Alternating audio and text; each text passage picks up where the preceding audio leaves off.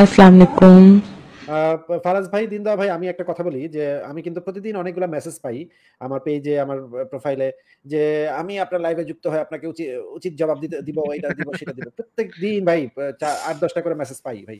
এবং আমি তাদেরকে সুন্দর করে পেজের লিঙ্কটা দিয়ে দিই এখানে আমি প্রতি সপ্তাহে লাইভ করি এখানে আসবেন। ভাই একটা মুভিন পাই না ভাই এটা কেমন কথা ভাই বলেন তো ফারাজ ভাই দিনদা ভাই? এটা এমন আকাল পড়ল কেন? মানে গলাবাজি করতে তো আর পয়সা লাগে না ভাই। গলাবাজি পড়তে কি পয়সা লাগে? এই যে আইসা যে ইম্বারেস্ট হবে আপনি আপনি দেখেন ভাই আপনার ভয়ের কথা বলতেছেন। মানে আমি যে মিম বানাইতাম ওই ভয়ে মুমিনরা চেহারা দেখানো বন্ধ করে দিচ্ছে কিছু মুমিন তাদের চেহারা দেখায় না এই ভয়ে যে আমি মিম বানাবো। এখন যদি তাদের মানে ভয়টা এই লেভেলে থাকে আর সে সে এসে কথা বলবে এখন ওই ওই ইয়ে করেন ভাই। এইটা ঠিক বলছেন ফারুজ ভাই আমিও বুঝি না যে মুমিনদের তো আর চাপাতির ভয় নাই কিন্তু এরা নিজেদেরকে শো করে লাইভ করে না কেন? বেশিরভাগ মুমিনই দেখি নিজেদেরকে এখন এখন দেখেন হিজাব করে লাইভ করে। হ্যাঁ, হ্যাঁ। হ্যাঁ, আমরা না হয় আমরা না হয় মানে চেহারা চেহারা ঢাকা ঢুকে আমরা না হয় করি। তাদের জন্যই। তারাই আক্রমণ করে তাদের তাদের জন্যই। তাদের ধর্মটা তো অনেক শান্তির ধর্ম জন্য তাদের তাদের শান্তির জন্যই আমাদের এই কাজগুলো করা লাগে। তাদের কিসের ভয়? আচ্ছা, ঠিক আছে দেখি কোনো মুভি আচ্ছা ভাই আমি আমি একটা জিনিস শেয়ার করতাম সেটা হচ্ছে যে ওই আগের একজন মানে আগের আগের একজনের সাথে আলাপ হচ্ছিল না মানে ওইটা শুনতেছিলাম যে দর্শন নিয়ে। তো আমার একটা পুরান কথা মনে পড়ে গেল বুঝছেন সেটা হলো যে ওই আমাদের গ্রামে মানে ওই চায়ের স্টলে টঙের দোকানে বসে চা খাচ্ছিলাম ওই সময় একদিন দেখি যে মানে দুই ব্যক্তির ব্যক্তির মধ্যে আপনার প্রচণ্ড ইয়া হচ্ছে মানে আলোচনা বা অনেক অনেকটা ঝগড়ার পর্যায়ে চলে গেছে যে এই ইয়া নিয়ে মানে বুদ্ধিজীবী ধরেন একজন আওয়ামী লীগ একজন বিএনপির হ্যাঁ তো এই বুদ্ধিজীবী ধরেন আওয়ামী লীগের লোক তো বলবে যে আওয়ামী লীগের যেগুলো বুদ্ধিজীবী আছে সেগুলোই সেরা বুদ্ধিজীবী। আর বিএনপির লোক তো বলবে যে বিএনপির যারা আছে তারাই সেরা বুদ্ধিজীবী। এই বুদ্ধিজীবী তর্কের এক পর্যায়ে একজন আরেকজনকে প্রশ্ন করে বলল বসল যে আচ্ছা ভাই তোরা যে এত তর্ক করতেছিস আগে কত বুদ্ধিজীবী সংখ্যাটা কি? বুদ্ধিজীবী কাকে বলে?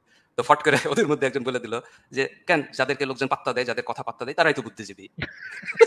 এর সাথে আপনার এর সাথে আপনি কি তর্ক করবেন ভাই? মানে বুদ্ধিজীবীর সংজ্ঞায় যার কাছে এরকম মানে তার সাথে আপনি কি তর্ক করবেন? এই দর্শনের এই এই ওনার কথাবার্তা শুনে আমি মানে আমার এই কথা জাহাঙ্গীর বলে ভাই? দার্শনিক ভাই এই কথা শোনার পরে কই যাব?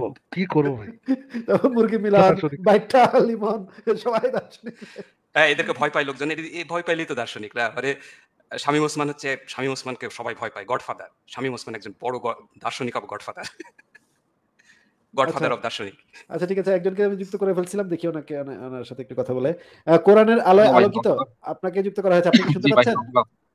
জি ভাই শুনতে পাচ্ছি হ্যালো। আচ্ছা আচ্ছা আপনি কি ভাই মানে মুমিন নাকি? বলেন তো আগে একটু। আমি ভাই হাফ মুমিন পঞ্চাশ পার্সেন্ট। ও কোরআনের আলোয় আলোকিত নামটা তো লাগাইছেন মাশাআল্লাহ খুবই ভালো মানে ভাই সাথে মনে করেন কেউ যত চিনতে না পারে এই কারণে আর কি।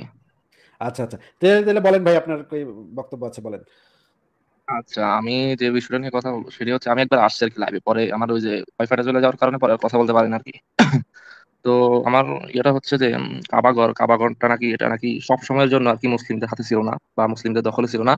এটা অন্যান্য ধর্মাবলম্বী মানুষও নাকি এখানে ইয়া করতো, উপাসনা করতো বা ইয়া করতো। তো এটা মোহাম্মদের কবজায় কীভাবে চলে আসলো আর কি, সেটা নিয়ে জানতে চাই আর কি। মোহাম্মদ কীভাবে সেটা দখল করল বা সেখানে কীভাবে আল্লাহকে এটা নিয়ে আনলো আর কি। আল্লাহ নামক এটা তো আগে থেকে ছিল আল্লাহকে সৃষ্টিকর্তা দেবতা হিসেবে পূজা করতো মক্কার লোকজন। আচ্ছা, হুবাল দেবতা নাকি পূজা করতো আমি সম্ভবত শুনছি। হুবাল এটা হচ্ছে আলাদা হ্যাঁ? আল্লাহ নামক যে সৃষ্টিকর্তা ওইটা হচ্ছে সৃষ্টিকর্তা দেবতা আল্লাহ জিনিসটা হচ্ছে সৃষ্টিকর্তা দেবতা।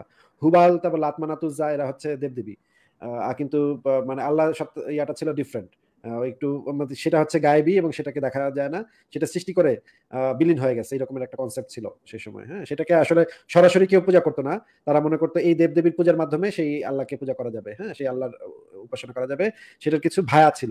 ভায়াগুলা হচ্ছে গিয়ে ওই লাতমানা তুজা তারপরে হুবাল, এগুলো হচ্ছে ভায়া দেবতা, ভায়া হয়ে আর কি ইয়া করতো। তো এইটার মানে দখলটা হলো মক্কা বিজয়ের মাধ্যমে সেই কাবা শরীফটা মোহাম্মদ দখল করল। এই জিনিসগুলো আপনি সিরাত গ্রন্থ পড়েন এবং আরেকটা আমার একটা লেখা আছে ইসলামের জুডিও খ্রিস্টান এবং পত্তলিক ভিত্তি এই লেখাটা পড়েন। এই লেখাগুলোর ভিতরে অনেকগুলো ম্যাটেরিয়াল পাবেন। এরপরে তো আপনি নিজেই পড়ালেখা করে বিষয়গুলো বুঝতে পারবেন। ঠিক আছে ভাই? আচ্ছা আচ্ছা বুঝছি। আরেকটা কথা হচ্ছে যে আচ্ছা সাপোজ মনে করেন যে কাবাগরে যে তিনশো না পাঁচশো কয়টা মূর্তি ছিল? পরে নাকি ওগুলো ভাঙা হয়েছে তো আমার কথা হইতেছে যে, একটা মনে করেন সাপোজ একটা মন্দির, ঠিক আছে? আজকে সেটা দখল হইল। সেটা দখল করার পর সেখানে মসজিদ বানানো হইল বা একটা মন্দিরের মধ্যে যখন মসজিদ বানানো তখন ব্যাপারটা এরকম খারাপ দেখা যায় না? তো সেক্ষেত্রে কাবাগরের মধ্যে যেখানে অনেকগুলো মূর্তি ছিল, যেখানে অন্য ধর্ম বা মূর্তি পূজা হইতো সোজা কথা, সেখানে কীভাবে রাসুল, নবী কীভাবে সেখানে পবিত্র জায়গা, সেটা কি কীভাবে পবিত্র জায়গা ঘোষণা করল বা ইসলামের সবচেয়ে পবিত্র জায়গা এখন কীভাবে সেটা হলো? যেখানে কিনা এক সময় মূর্তি পূজা হইতো। হ্যাঁ সেটা তো আমাদেরও প্রশ্ন ভাই, সেটা তো আমাদের প্রশ্ন। কিন্তু তাদের দাবি, তাদের মানে মুমিনদের বক্তব্য হচ্ছে, এটা হচ্ছে ইব্রাহিম তৈরি করছিল। এইখানে ইব্রাহিমের ইয়া ছিল, কেবলা ছিল এটা। এরকম এরকমের কিছু গল্প কাহিনী তাদের আছে। ঠিক আছে ভাই, আপনি এই বিষয়ে সংশয় ডট কমের লেখাগুলো পড়েন, আপনার প্রশ্নগুলো ভালো। চমৎকার প্রশ্ন কিন্তু আপনি এই লেখাগুলো পড়েন আরও অন্যান্য ম্যাটেরিয়াল পেয়ে যাবেন আরও বেশি ভালোভাবে চিন্তা ভাবনা করার জন্য আরও অনেক কিছু পেয়ে যাবেন এই সমস্ত লেখা থেকে আমাদের লেখাগুলো থেকে। তাহলে কোরআনের আলো আলোকিত ভাই আপনাকে বিদায় জানাই আমরা একটু মুমিন কাউকে হ্যাঁ হ্যাঁ উনি- যে বলছেন যে উনি স্টিল হাফ মুমিন উনার কোন অংশটুকু মুমিন বা কোন বিশ্বাসটুকু এখনও মুমিন পর্যায়ে আছে এটা কি জিজ্ঞেস করবেন? আমার মনে হচ্ছে না কোনো অংশই ওনার মুমিন আর আছে। তাহলে আমরা নতুন মুমিন যুক্ত করি। হ্যাঁ আমরা একটু মুমিন ভাইদের সাথে একটু দেখি মুমিন ভাইদেরকে পাই কিনা। কোরআনের আলো আলোকিত ভাই আবার আরেকদিন কথা হবে আপনার সাথে ঠিক আছে ভাই? আচ্ছা ভাই সমস্যা নাই ঠিক আছে ভাই। আচ্ছা আচ্ছা ঠিক আছে ভাই ভালো থাকেন। আমরা একটু মুমিন খুঁজি একটু দেখি। একটা মুমিনকে অন্তত ভালো একটা মুমিনকে আম, যদি পাওয়া যায়। ভাই আপনি কি একটা জিনিস সম্পর্কে জানেন? যে কাবা নিয়ে বললেন এটা নিয়ে কি আপনি আহ, একটা জিনিস জানেন? যে আমিও কিছুদিন আগে একটা ভিডিও দেখলাম এবং এই জিনিসটা আমিও জানতাম না আগে। যে একজন আহ, ইমানদার বান্দা বলছেন যে কিবলা পরিবর্তন ছিল নবী মোহাম্মদের সাম্যতার একটা দর্শন মানে সাম্যতার একটা লক্ষ্য আর কি। তো যখন তিনি দেখলেন যে ইহুদিরা মাইন্ড করতেছে এই বিষয়ে, যে তারা তাদের দিকে, তাদের কেবলার দিকে তাকায় ইয়ে করতেছে, নামাজ পড়তেছে, মোহাম্মদ মোহাম্মদ নামাজ পড়তেছে এবং তারা এটা মাইন্ড করছে, তাদের দুঃখ কষ্ট দেখে, তাদের দুঃখ কষ্ট লাঘু করার জন্য মোহাম্মদ সাল্লাহ আলাইসালাম মানে তার কিবলাটা পরিবর্তন করছেন। এটা কি আপনি জানতেন আসিফ ভাই? হায় হায়, এই ধরনের কথা কে কে বলছে ভাই? এরকম তো শুনি ভাই বাংলাদেশে নতুন নতুন অভাব আছে নাকি ভাই? নতুন নতুন ইন্টারপ্রিটেশন এটা আমিও শুনি নাই আগে। আমি জানতাম যে কেবলা পরিবর্তন হয়েছে কিন্তু কারণ যে এইটা এটা জানতাম না। ইহুদিরা যেন মনে কষ্ট না পায় ইহুদিদের মনে কষ্ট না দেওয়ার জন্য মোহাম্মদ কেবলা পরিবর্তন করছে। চিন্তা করেন অবস্থা ভাই। কিন্তু কিন্তু আমি যেটা জানি সে কেবলা পরিবর্তন করা হয়েছিল ইহুদিদেরকে আকৃষ্ট করার জন্য। পরে যখন দেখা গেল ইহুদিরা তারা পাত্তাই দিচ্ছে না বরঞ্চ ডাকতেছে ডিবেটে ডাকতেছে। তখন আর কি বিভিন্ন তানাবাজি টানাবাজি কইরা ডিবেটে যায় নাই মোহাম্মদ আলোচনাতে যায় আসিফ ভাই আমি আমি ভাবছিলাম এই জিনিসটা একটু যদি দেখাই দিতেন। আহ, আমি যখন বললাম যে একটু আগে যে দার্শনিক ভাইটা যুক্ত বলেন যে বললেন যে সবাই দার্শনিক তাকেও আমি বলেছিলাম কথাটা যে মোহাম্মদ নিজে ইয়ে থেকে মানে ডিবেট থেকে পালাইতেন আলোচনা থেকে পালাইতেন। এই জাস্ট এই রেফারেন্সটাকে একটু দেখানো যায় আসিফ ভাই।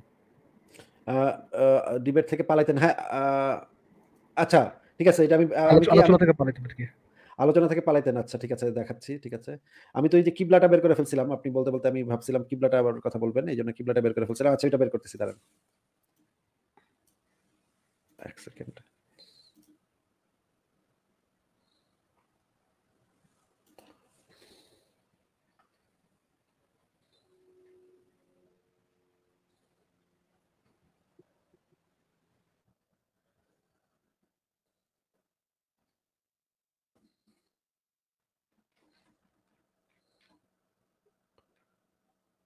হ্যাঁ বের করে ফেলছি দেখাচ্ছি ভাই।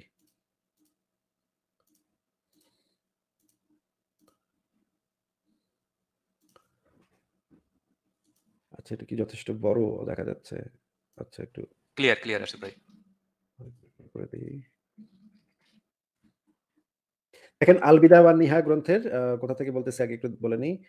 আলবিদা বা নিহা গ্রন্থের ইসলামিক ফাউন্ডেশন চতুর্থ খণ্ড পৃষ্ঠা একশো আটচল্লিশে যে জিনিসটা বলা হয়েছে দেখেন। আহ, এই উপরে উপরে থেকে পড়ি। ইবনে ইসাক বলেছেন যে এরপর রাসুল্লাহ সাল্লাহ সাল্লাম বনু নাজির গোত্রের নিকট গেলেন। তার উদ্দেশ্য ছিল আমার চুক্তিপত্র দুজনকে হত্যা করে তাদের প্রতিশোধ গ্রহণ তাদের রক্তপণ পরিশোধে বনু নাজির গোত্রের সহায়তা কামনা করা। বনু নাজির ও বনু আমির গোত্রের মধ্যে পরস্পর মৈত্রী ও নিরাপত্তা চুক্তি ছিল। রাসূলুল্লাহ তাকে তারা আশ্বস্ত করল যে, আমরা রক্তপণ পরিশোধের মাধ্যমে আপনাকে সাহায্য করব। এরপর তারা একান্তে মিলিত হলো এবং নিজেরা পরামর্শ করল যে, রাসূলুল্লাহ সাল্লাহ সাল্লাম মোহাম্মদকে হত্যা করার এমন সুবর্ণ সুযোগ আমরা আর পাবো না। এটা কিন্তু আর কেউ দেখে নাই হ্যাঁ? তারা একান্তে একান্তে মিলিত হয়ে পরামর্শ করছে বলে এটা এখানে বলা হচ্ছে। কিন্তু এটা কিন্তু এটার সোর্স কি সেটা কিন্তু আমরা জানি না যে, এটা আবার তারা কে এসে বলছে কিনা বা এটা কোথা থেকে জানা গেল? এখানে দেখা গেল যে দেখেন রাসুল্লাহ সাল্লাহ সাল্লাম তখন তাদের একটি ঘরের দেয়ালের পাশে বসা ছিল। তারা বলল, কে আছে কে আছে যে ছাদে ওখান থেকে পাথর ফেলে দিয়ে মোহাম্মদকে হত্যা করার জন্য আমাদের হাত থেকে নিষ্কৃতি দিবে? আমর ইবনে জাহা এগিয়ে এসে বলে আমার জন্য প্রস্তুত আছি। সে মতো সে পাথর নিক্ষেপের উদ্দেশ্যে সে স্থানে উঠল সে ছাদে উঠল।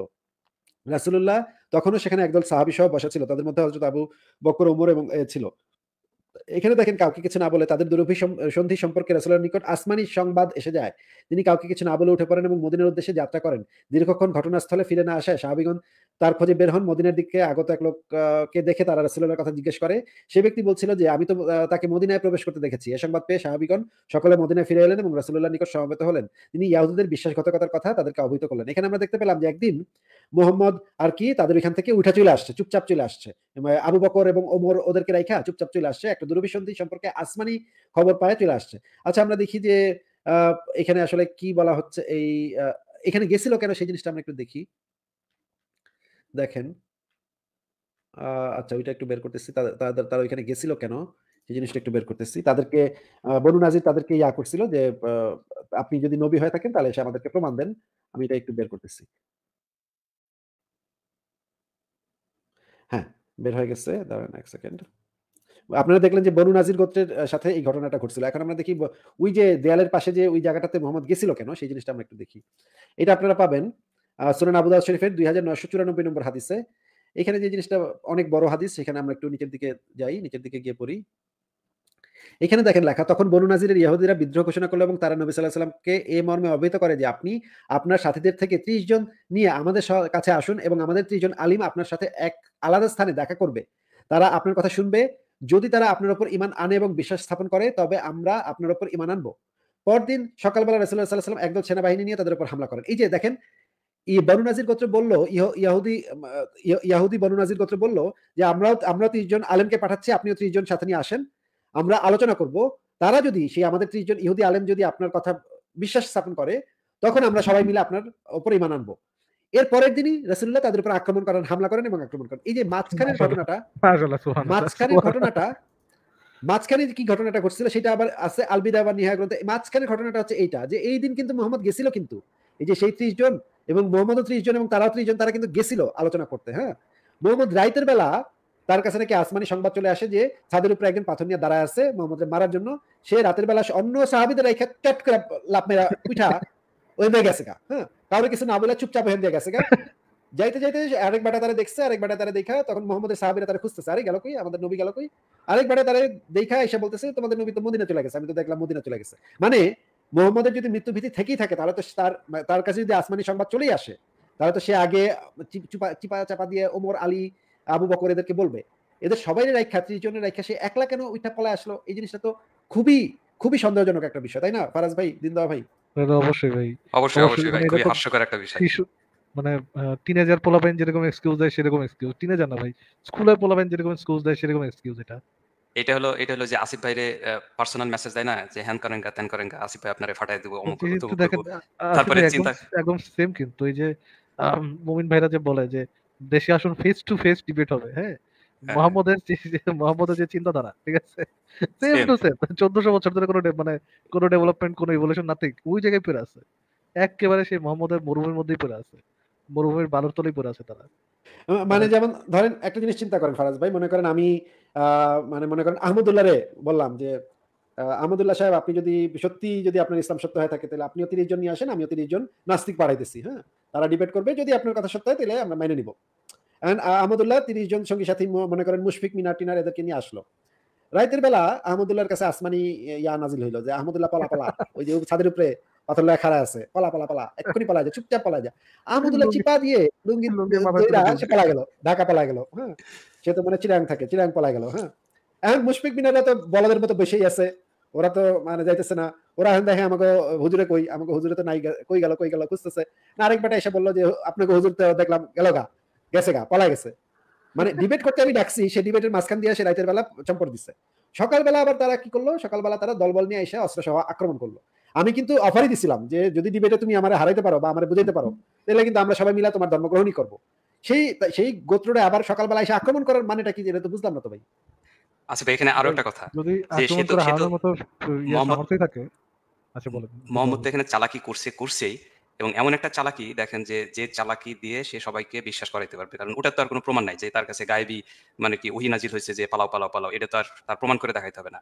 আর তার সঙ্গী সাথীরা এমনই বলদের বলদ যে মোহাম্মদ যাই বলে সেটাই বিশ্বাস করে তারা একটু চিন্তাও করে দেখল না যে মোহাম্মদ যে উল্টা দৌড় দিছে, উল্টা পালাইছে, মোহাম্মদ যে আসলে মোহাম্মদের আল্লাহ যে মোহাম্মদকে যুক্তিবিদ্যা এখানে জিতাইতে পারবে না, এই কমন সেন্সটা একটা বলদেরও মাথায় আসলো না। তারা হচ্ছে মোহাম্মদকে একদম মন্দের মতো, মোহাম্মদ যা বলল তাই বিশ্বাস করে দিল এবং তাদের তো বলা উচিত ছিল যে হুজুর আপনি যে একলা একলা পলাইলেন, ওই পাথরটা তো যদি ফালাইতো তাহলে তো আমাদের উপরে পড়তে পারতো, তাই না?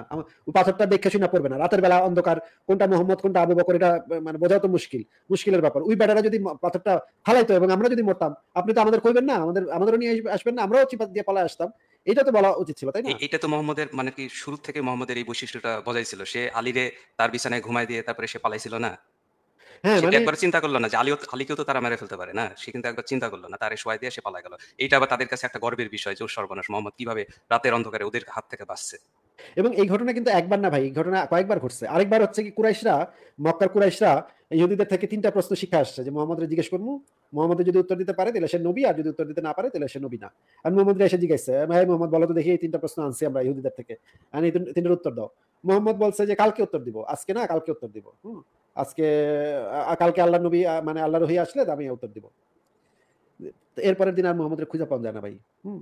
পনেরো দিন ব্যাপী মোহাম্মদ আর খুঁজে পাওয়া যাচ্ছে না, মোহাম্মদে কোথায় গেল, কি হইল, কিছুই জানা যাচ্ছে না, মোহাম্মদ পনেরো দিন কোনো খোঁজ খবর নাই। সে কিন্তু বলছিল, কালকে দিব। পনেরো দিন পরে মোহাম্মদ উত্তর নিয়ে আসছে, উত্তর নিয়ে এসে উত্তর দিচ্ছে সে তখন দুইটা সুরা নাজিল হয়েছে দুইটা, অনেকগুলো আয়াত নাজিল হয়েছে এবং পরে সে বলতেছে ওই যে ওই দিন তো মানে সবাই জিজ্ঞেস করতেছে যে তুমি এতদিন সময় লাগে কেন তুমি না বললা কালকে আসবা কালকে এসে উত্তর দিবা? সে বলতেছে ওই দিন তো আমি ইনশাল্লাহ শব্দটা বলি নাই। এই জন্য আল্লাহ রাগ কইরা ওই পাঠায় নাই। হ্যাঁ জিব্রাইল মানে চিন্তা করেন কি রকমের মানে চাল্লু মাল কি রকমের চাল্লু মাল। ট্যাডন কি একটা ট্যাডন মানে ইনশাল্লাহ কয় নাই দেখা ওই দিন আল্লাহ পাকে গোসা কইরা ইহুদিদের কাছে যে বললেন উত্তর দিছে। ভাই ওটা কোনো জাতের উত্তরের মতো পড়ে ভাই। হ্যাঁ ওটা তো উত্তরও হয়নি ভাই ওটা তো কোনো মিলই নাই। মানে একটা লং রেঞ্জের মধ্যে একটা উত্তর দিছে ওই উত্তরটা যে মানে কি বক্ষ মেরুদণ্ড এবং বক্ষর মাঝামাঝি থেকে যে বীর্য নির্গত হয় এই টাইপের উত্তর। আরে ভাই এর চেয়ে মাথার মাথা থেকে পা পর্যন্ত এর মধ্যে থেকে বীর্য নির্গত হয় একই কথা তাই না? মানে একটা রেঞ্জের মধ্যে অ্যান্সার দিলে তো ওটা কোনো অ্যান্সারই হলো না তাহলে বিশেষ করে রুহ কি? এটার উত্তর সে কি বলছে? রুহ কি এটা কেউ জানে না আল্লাহ ছাড়া। মানে এটা কি মুশফিকুর রহমান মিনার মতো। আল্লাহ ভালো জানে। আল্লাহ ভালো জানে বলে ইয়ে করে। না সেম কাজ তো ইয়ার ইয়ার পরেও করছিল যে মিরাজ থেকে ঘুরে আসার পরে যখন জিজ্ঞেস করল যে তাহলে বাইতুল আকসায় যে আপনি গেলেন ওইখানকার তাহলে বিবরণ দেন। সে তো ওই সময় বিবরণ দিতে পারে না এরকম বেশ কয়েকবার এই ঘটনা ঘটছে। যাই হোক ঠিক আছে। ফারাজ ভাই আর কি ওই বিষয়ে কি আর কিছু আপনি বলবেন? না না ভাই ওটাই দেখানো ছিল যে মোহাম্মদ যে নিজেও ডিবেট অ্যাভয়েড করতো এবং ডিবেট থেকে পালা বেড়াইতো সেই জিনিসটাও অনেকে জানে না এটা জানানো দরকার ছিল যে ফিলোসফার মোহাম্মদ হ্যাঁ? মোহাম্মদ দ্য ফিলোসফার কত বড় ফিলোসফার ছিলেন তিনি। হ্যাঁ ঠিক আছে। এটা হচ্ছে সুরা কাহাফের কয়েকটা সুরা নাজিল হয়েছিল তখন।